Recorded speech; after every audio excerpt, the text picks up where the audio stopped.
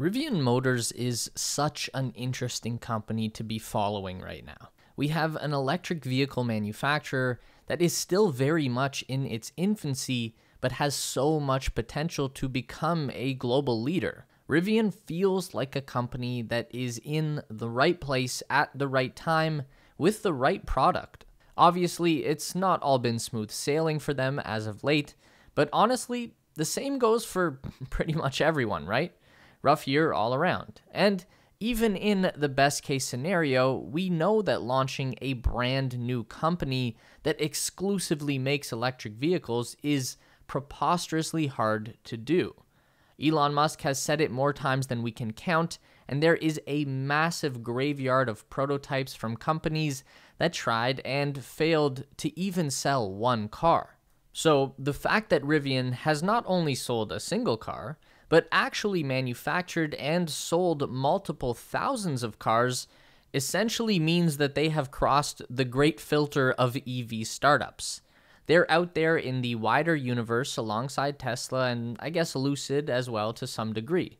Clearly, Tesla has a 10 light year head start, but that's not the point. It's not about which company is better or worse. If you're passionate about electric vehicles and not just a brand cultist, then it is an amazing opportunity to watch a new EV maker work through their trials and tribulations, wins and losses. No one really cared about electric cars when Tesla was going through a lot of this stuff because no one had ever done what they were trying to do. It just seemed impossible.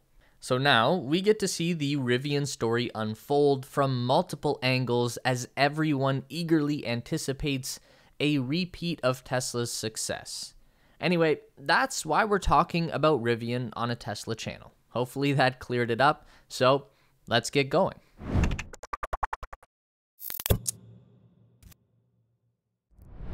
Right off the top, this isn't going to be another R1T review. I don't think they've even delivered them to Canada yet. I've never seen one in real life. And I'm sure everyone already knows the quirks and features of the product pretty well by now. It's all been covered very thoroughly on the review racket. In terms of a pickup truck, the R1T is really cool. It fits into a very smart niche. Most pickup trucks these days are trying to position themselves as either a hardcore work tool or a giant oversized luxury car with a truck bed or a muscle car in the shape of a truck or a massive off roading monster machine. The Rivian actually manages to cover most of those bases but without all of the macho bravado of its competition. The R1T is just a good time adventure truck that can go anywhere and do anything while still maintaining a very chill, understated modern vibe. This truck would look right at home on the set of a Star Trek series like Strange New Worlds.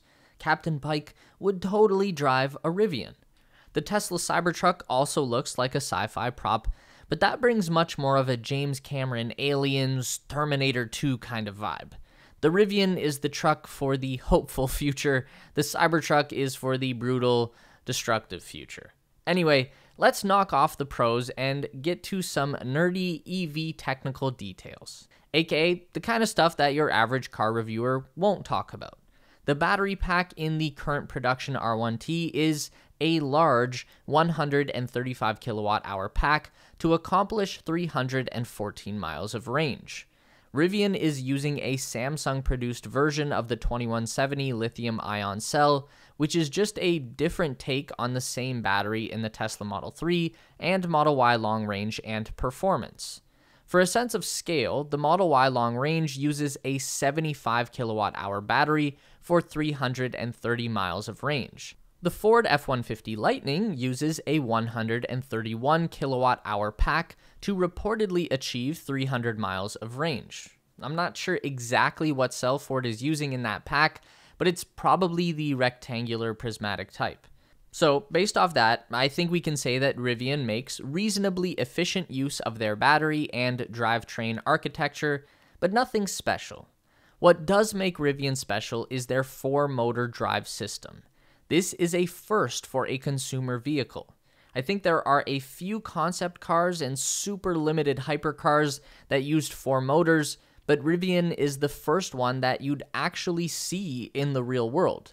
And this is very cool because unfortunately, most electric vehicles don't take full advantage of the platform. They're just regular cars with the engine pulled out and some batteries and electric motors stuck in. The EV platform allows for things like giving each wheel its own dedicated motor. This is a deeply useful feature and a smart move by Rivian.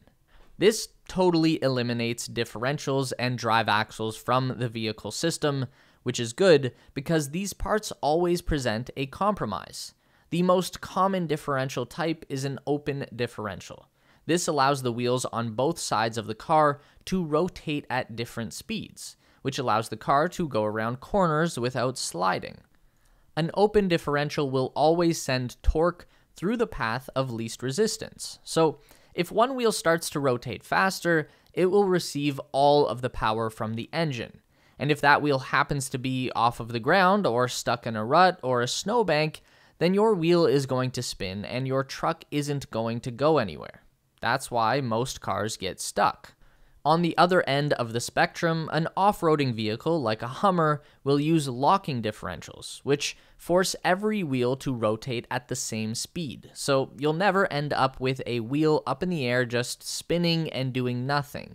The wheel with the most grip will always be able to push the vehicle on. The system is totally useless for normal driving conditions, so it has to be turned on and turned off as needed.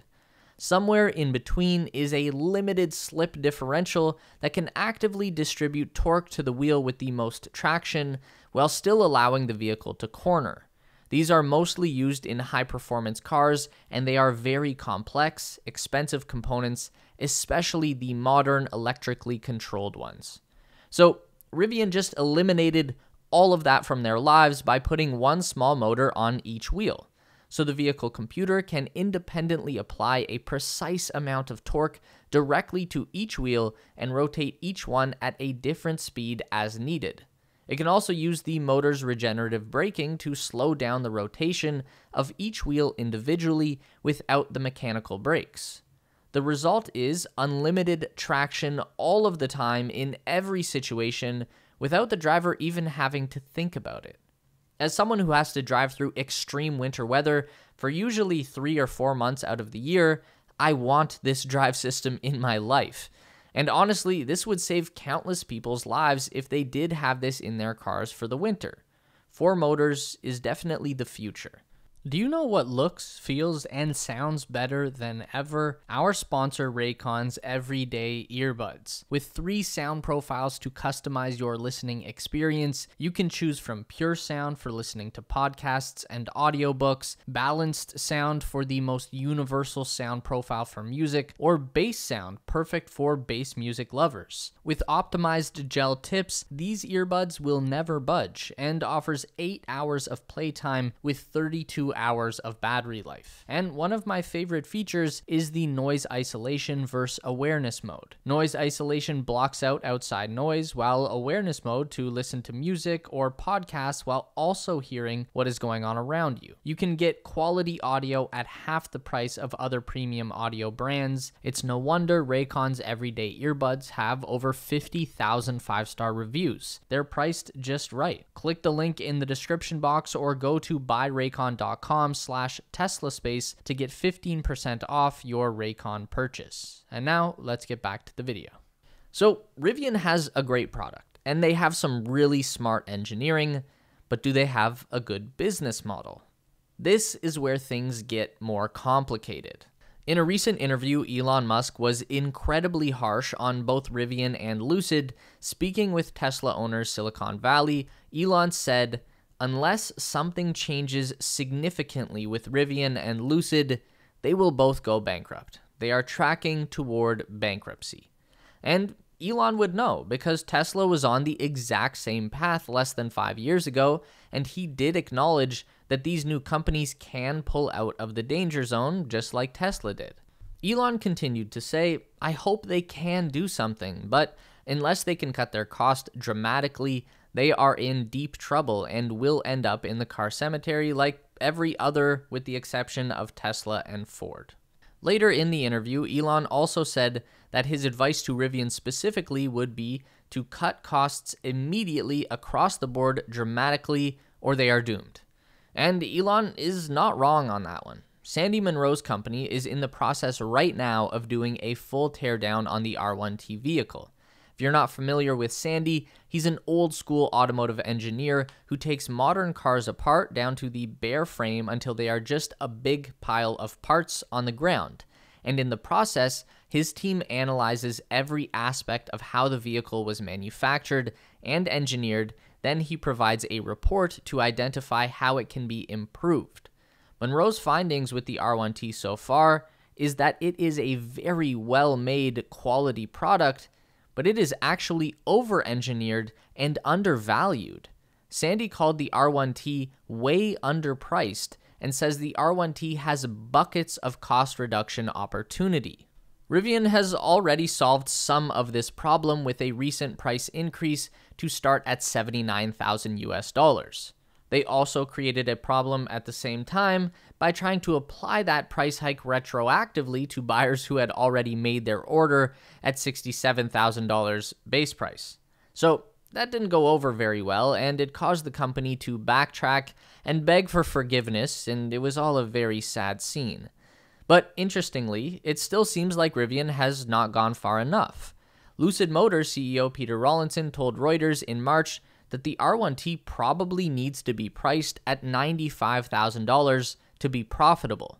The GM Hummer EV with three motors and rear wheel steering is going to cost about $130,000, while a fully loaded F 150 Lightning with dual motors and just slightly less range than the R1T, but fairly equivalent features, would cost about $100,000. We don't know how much the eventual four motor Tesla Cybertruck with rear wheel steering is going to sell for, but it is certainly not going to be just $69,000.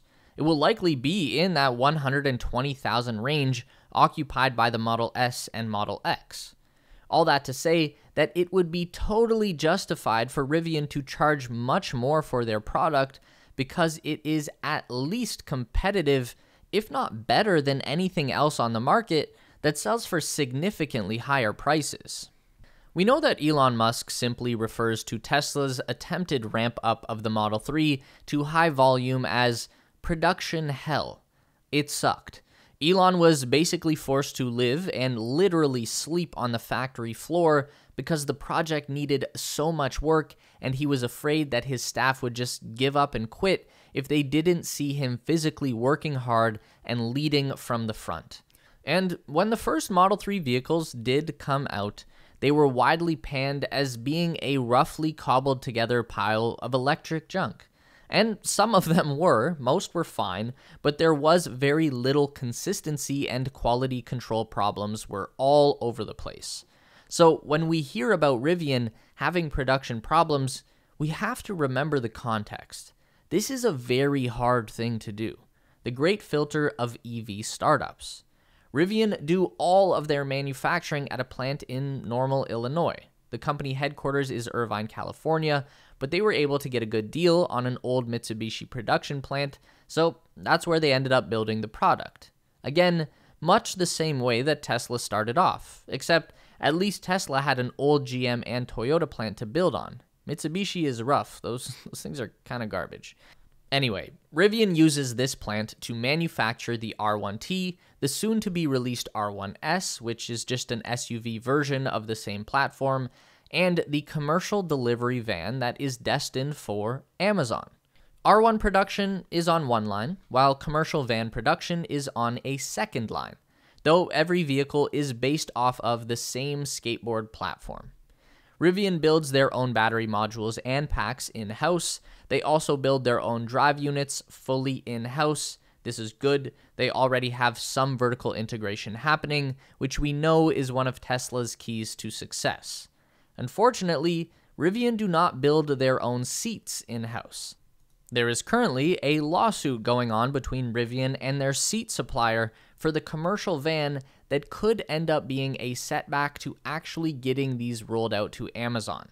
Rivian has custom designed that seat but outsourced the manufacturing. Now, the people making the seat want to double the cost, and Rivian decided they would rather sue them than pay double. Actually, if we're already talking about difficulties, then we should circle back to the whole battery manufacturing thing. Rivian did have a small fire breakout on their battery pack production line about a month ago. According to the fire department report, when firefighters arrived, there was a battery pack in thermal runaway in a battery testing area in the southwest side of the plant where the batteries are built for the Rivian vehicles. They followed the standard procedure with these kinds of fires, which is to extinguish the flames and then continue to flow water over the pack to keep it cool and prevent it from reigniting. In a statement after the event, Rivian basically just said that no one was injured, and they provided no explanation as to why the pack malfunctioned. So that's not great. It's probably not cause for panic, but we definitely do want to pay attention to any reports of customer delivered vehicles spontaneously combusting, because that would point to a systematic issue such as the Chevy Bolt. The good news for Rivian in all of this is that they have enough money to weather a few storms in these early days. So, Rivian had a very much hyped initial public offering of their stock on Wall Street. They rang the opening bell and everything, and people went nuts buying up shares of the new company. Everyone wants to get in on the next Tesla and get that multiple thousand percent return on investment. Rivian managed to raise $12 billion in cash from that listing more than any other US company of any kind since the year 2014. That sent Rivian stock prices as high as 179 US dollars, and then it all came crashing down. In March, company executives announced that they would cut production forecasts for 2022 in half to 25,000 vehicles, citing global semiconductor shortages and other supply chain troubles. In Q1 2022, the company delivered 2,500 vehicles. So even hitting the 25,000 this year is going to be very hard. Rivian also reported a 1.6 billion net loss in the first quarter on revenues of 95 million, which is perfectly fine. New companies always lose money. Tesla didn't start making profit consistently until 2019 and 2020. And that still leaves Rivian with their giant pile of cash. They reportedly have $17 billion in total cash stashed away, which is said to be enough money to fund the company until 2025, and that includes the company's expansion into a second manufacturing plant to be built in Georgia for a cost of $5 billion. This will be the future home of the Rivian R2, a smaller and more affordable SUV vehicle set for release in 2025. Rivian CEO RJ Scaringe has a vision of the company eventually reaching an annual volume of 10 million vehicles, which would put them on par with where an industry leader like Toyota or GM is today. But what do you think? Does Rivian have a shot at making it to be one of the global leaders in EV manufacturing? I would bet that they do, but drop your theories down below. Don't forget to give this video a thumbs up today if you liked it. That is so important for getting our content out to more people. If you enjoy the content, then you'd probably also enjoy our weekly newsletter. So sign up with the link down below at theteslaspace.com. A huge thank you to all of our Patreon supporters who are listed on the screen now. You help us make the best content we can, and we really appreciate it. Thanks for watching, and we'll see you in the next one.